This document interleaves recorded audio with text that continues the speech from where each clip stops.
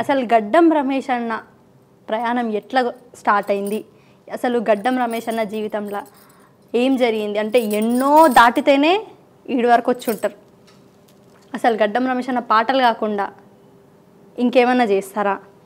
Profession ఇంకేమన్నా ఉందా? కష్టాలు సుఖాలు ఇవన్నీ మాతో చెప్పుకోండి అన్న. తప్పకుండా రా. కష్టాలంటే చాలా ఉన్నాయి. చిన్నప్పటి నుంచి వెళ్ళి ఓ పాటగా పాటగాడిగా మనం బయటకు వచ్చినాం. జంగిరెడ్డి గురువు గారితో అక్కడ నుంచి ప్రస్థానం మొదలైంది. తర్వాత ఇక పెళ్ళి చేసుకున్నాం. మ్, ఏదైనా చేయాలన్నా కూడా ఇంట్లో సపోర్ట్ చాలా ఇంపార్టెంట్. అవును. ఇంట్లో సపోర్ట్ లేని మనం ఏం చేయలేం. ఏం చేయలేం. మా నాన్నగారు యక్షగానాలు వేసేవాడు. ఊళ్ళల్లో. పాటలు పాడుతూ యక్షగానాలు వేసుకుంటూ మమ్మల్ని మా అక్కను మా అన్నను మా తమ్ముడిని నన్ను అంటే మేము నలుగురం. ముగ్గురు ముగ్గురిలో నడిపోయినాను. మా తమ్ముడు చిన్న ఉన్నాడు నాకంటే పెద్ద ఉన్నాడు మా అన్న. తర్వాత నడిమిట్లో నేను అన్న అంతే నువ్వు నడు. కష్టాలు బాగుంటాయి. నడుమంటలో కష్టాలు. మస్తు ఉంటాయి అన్న. చెప్పరాదా కష్టాలు. అట్లా మా నాన్నగారు పాటలు పాడేది కాబట్టి వారి వారసత్వం పునిపించుకున్నాను నేను. నాకు తెలిసి అదే అనుకుంటున్నాను నేనైతే. అంటారు కూడా చాలామంది ఊళ్ళలో పోతే కూడా మీ నాన్న లెక్కనే పాటలు పాడి నేర్చుకున్నవారు అని అంటూ ఉంటారు. మా నాన్న యక్షగానాలలో హరిశ్చంద్ర మహారాజు కానీ సతి తులసి కానీ యక్షగానాలు చేస్తుంటుంటే ఆయన వాడేటప్పుడు వెనకాల కూర్చుండేటండి నేను. అప్పటి నుంచి వెళ్ళి పాటతోటి పట్- గట్టిగా పట్టుకున్నాను కాకపోతే యక్షగానం వండకుండా మన జానపదం జనపదం అంటింది మనకు. జనపదంతో బయటికి వెళ్ళినాం పెళ్ళి జరిగింది. తద్వారా బతకనీకి కష్టమవుతుంది పెళ్ళైనాక. అప్పటికి ఊళ్ళల్లో అంతా ఇంటర్మీడియట్ సెకండ్ ఇయర్ అయింది. ఊళ్ళోనే ఉన్నాం. నాన్న అదే పని ఎంత చేసినా కూడా మనము పూట గడవడం కష్టమవుతుంది. ఆ తరుణంలో నాకు పోలీస్ డిపార్ట్మెంట్లో మ్మ్. సిఐ గారు గౌరవనీయులు సిఐ దామర్ నరసయ్య గారు మా ధర్మపురి సిఐగా ఉన్నప్పుడు తను నేను అప్పుడు పాటలు వేదిక మీద వాడుతున్నా డిపిఆర్ఓ పాటలు అంటే పౌర సంబంధాల శాఖ ఉంటుంది గవర్నమెంట్ వాళ్ళది. అభివృద్ధి పథకాలపైన పాటలు పాడుతుంటే సార్ చూసి పిల్లగాడు బాగా పాడుతున్నాడు అని చెప్పేసి నన్ను దగ్గర చేరదీసి "అరే, పోలీస్ పాటలు పాడాలి రాబాయ్ అని చెప్పేసి మా సిఐ గారు అన్నాడు. అంటే నాకు భయం అప్పుడు ఊళ్ళో పోలీస్ అంటే రెండు వేల సంవత్సరం అప్పుడు. కరెక్ట్ రెండు వేల సంవత్సరం అంటే ఇరవై ఏళ్ళ కిందట ముచ్చట ఇది. ఇరవై రెండు ఏళ్ళ కింద ముచ్చట. సార్ మాకు పోలీసుల ఇంటికి ముచ్చట పంపంగానే నాకు భయం అయిపోయింది. సార్ నేను పాటలు మాకు ఏం రావు సార్ అంటే అరే పోలీసుల పాటలు ఏం కాదురా పల్లె పాటలే పాడుకుంటుంది అని మా సార్ అన్నాడు.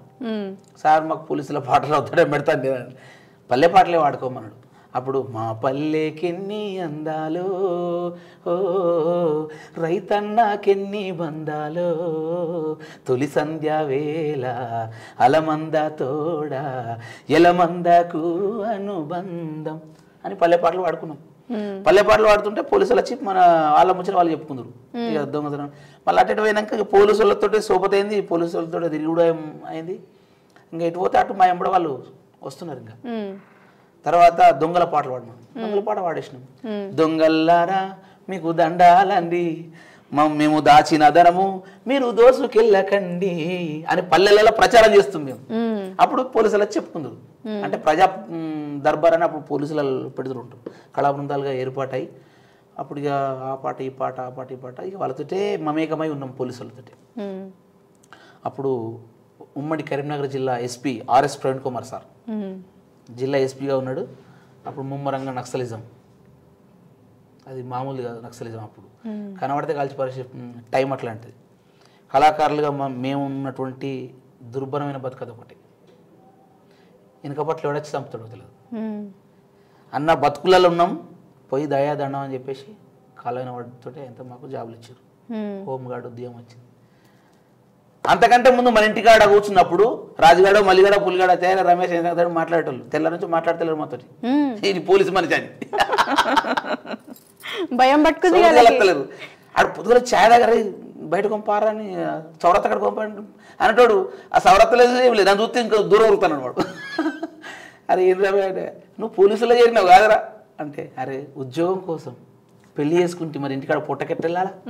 అని చెప్పి ఓటు పట్టుకున్నరా ఉద్యోగం పోయినా అని చెప్పేసి అప్పుడు కానీ ఎంతైనా ఇంట్లో భార్య అమ్మ నాన్న సపోర్ట్ లేకపోతే ఏ పని చేయలేం మనం. ఎందుకంటే పొద్దుగా లేచిపోతాం ఏ రాత్రో ఇంటికి వస్తాం. వచ్చినా కానీ అద్దుమ రాత్రి ఇంటికి వచ్చినా కూడా నా భార్య తలుపు తీసేది. నాకు అన్నం పెట్టేది ఆ రాత్రి అయినా పడుకునేది. ఈ ఈ ఈ ఈ ప్రోత్సాహం లేకపోతే ముంగటికి రథం పోదు. మాకు అప్పుడు నౌకర్లు వచ్చేసినాయి కదా.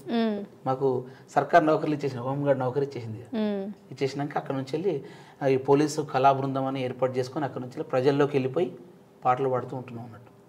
సో ఇప్పుడైతే హోంగార్డ్ ఉద్యోగం చేస్తున్నా. ఉద్యోగం చేస్తూ ఇటు అంటే అటు ప్రొఫెషనల్గా చేస్తూ ఇటు నీ కళని రెండింటిని ఆ ఉద్యోగంలో కూడా పాటలు పాడే అందులో కూడా పాటలు పాడు మంచిగా అందులో ఎట్లుంటుందంటే అమ్మా నాన్నకు తిండి పెట్టకంటూ చాలా మంది ఉంటారు ఒక తండ్రికి ఇద్దరు కొడుకులు ఉంటే ఒక కొడుకు అమెరికాలో ఉంటాడు ఒక కొడుకు హైదరాబాద్ పట్టణంలో ఉంటాడు.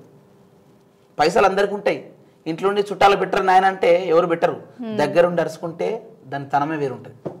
కాబట్టి ఆ అట్లాంటి అమ్మ నాన్నలు కాగితాలు పట్టుకుని వచ్చి అయ్యా నేను ఐదు ఎకరాలు సంపాదించిన పది ఎకరాలు సంపాదించిన నా ఇద్దరు కొడుకులు దూరం పోయారు నాకు పట్టణం అన్నం పెట్టే దిక్కులేరు సారు అని మా సార్ల దగ్గరకు వచ్చి కాగితాలు ఇస్తుంటూ వస్తారు. అట్లాంటివి చేయకుండానే మేము పాటల ద్వారా చైతన్యం చేస్తున్నాం వాళ్ళకు కుటుంబ భారమంత మోసుకస్తవు బాధ్యత కుమారు పేరు అయినవు ఇంట్లో పప్పు తొట్టి పప్పు ఉప్పు కళ్యామాకు అన్నీ ఉంటేనే మన అమ్మ మనకు అంట వంట చేసి పెడుతుంది. ఏ ఒక్కటి లేకపోయినా నాన్న ఏమండి మన ఇంట్లో సరుకులు లేవని అని అంటది. మన అమ్మ. ఎవరితో చెప్పుకుంటుంది అది మళ్ళా? మన నాన్నతో చెప్పుకుంటుంది. మన నాన్నే లేకపోతే ఎట్లా? కుటుంబ భారమంత మోసుకస్తవు బాధ్యతకు మారు పేరు అయినవు నీ కష్టమంత కడుపులోనే దాచుకుంటవు నీ కన్నీళ్ళు కంటి రెప్ప దాటనీయవు. మేము ఒక్క పూట పస్తులుంటే చూడలేవయా మేము ఒక్క పూట పస్తులుంటే చూడలేవయ్యా. నువ్వు ఎన్ని పస్తులున్ననో చెప్పలేనయ్యా. నాన్న నాన్న నాన్న నీ మనసు ఎంత మంచిదో నాన్న. నాన్న నాన్న నాన్న నీ ప్రేమ ఎంత గొప్పదో నాన్న. మనము నాన్న ఉండగా ఏ ఒక్క రోజు కూడా కడుపు మార్చుకున్న రోజులున్నాయా లేవు. ఎందుకంటే నాన్న ఖచ్చితంగా పట్టుకొస్తాడు. ఆ గొప్ప భరోసా ఇస్తాడు మన నాన్న. ఏడబోతాడో అప్పు తెస్తాడో సప్పు తెస్తాడో మనకు తెలియదు. కానీ నాన్న మాత్రం పట్ల తన్నం తీసుకొచ్చి పెడతాడు. ఆ భరోసా. వీళ్ళు ఇంత మంచి చొక్కా వేసుకొని ఇంత మంచి ప్యాంట్ వేసుకొని సంఘంలో సగౌరవంగా తిరుగుతున్నామంటే దాని కారకుడు మా నాన్న. మా నాన్నే కనకపోతే నేను లేను ఈ ప్రపంచానికి కనబడను. రజిత వాళ్ళ ఇంట్లో కలర్ ఉంది నాన్న మన ఇంట్లో లేదు. అంటే నాన్న దగ్గర పైసలు సంగతి తెలియదు నాకు. పక్కింటి రైతులు ఉంటే కలర్ పెద్దది నాన్న కావాలి నాన్న అంటే నా బిడ్డ అడిగింది. నేను తీసుకురావాలని చెప్పేసి నాన్న మేము కోరుకున్నదేది కాదన్నవు మా మనసుకు బాధ కలగనీయవు. నీ ఎదల ఎన్ని బాధలున్నగాని మా క్షేమమే నువ్వు కోరుకుంటావు. నీ త్యాగం ఎంత పొగిడినా కొంచెమేనయా త్యాగశీలి నాన్న నీకు వందనాలయా త్యాగశీలి నాన్న నీకు వందనాలయా నాన్న గురించి మేము పల్లెల్లో చెప్తాం. నాన్నకు అన్నం పెట్టండి. నాన్న అమ్మను అరుసుకోండి. మీ ఉద్యోగాల పట్ల మీ ఒకవేళ ఇబ్బంది ఉంటే తీసుకెళ్ళండి అమ్మ నాన్న అక్కడికి. కానీ ఆ నాన్న అమ్మ ముసలోళ్ళు కాగితం పట్టుకొని పోలీస్ స్టేషన్ మెట్లెక్కి నాకు అన్నం పెట్టే దిక్కులేరు పెట్టడంతో మాత్రం అననీయకండి అని చెప్పడానికి మేము పాటలు పాడుకుంటూ ఊళ్ళలో తిరుగుతుంటాం. ఇప్పుడు మన చెల్లెలు పక్కదారి పట్టకుండా ఈ పదహారు ఇరవై ఐదు ఇరవై మూడు సంవత్సరాల మధ్య ఉన్నటువంటి కాలం చాలా అగ్గి ముట్టుకుంటే మర్చిపోతాం.